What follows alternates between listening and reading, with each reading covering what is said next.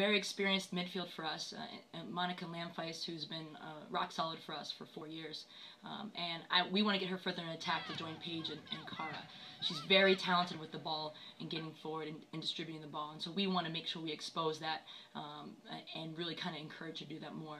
Uh, Joanna Beofield was also for us last year and played very good in the air. She has a workmanlike mentality that is really one that I enjoy in the midfield.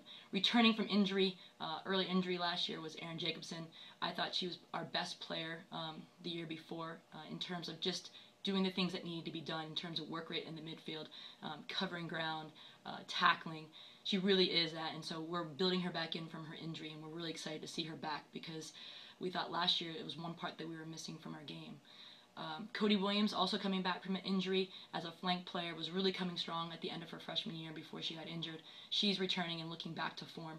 Uh, she'll be a dangerous person coming off the flank, beating people, and we're really excited about where she is uh, in her play uh, in terms of what we're trying to do. McKenna Moyer, a um, freshman uh, coming in from Madison who has a huge tradition here at Wisconsin. Um, both her sisters played at Wisconsin.